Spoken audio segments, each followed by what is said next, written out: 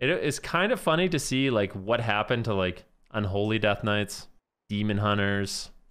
You know, when like Unholy Death Knight was OP, Demon Hunters were OP, when Windwalkers were OP, the the nerfs that they got, or even Ret Paladins and Ferals, when Ferals were OP, when Ret Paladins were OP, when Windwalkers were OP, when DKs were OP, they got hit with a hammer, dude. And Asarogues, they got hit with nothing. Somebody threw a freaking plastic cup at them. You know, like they, ah,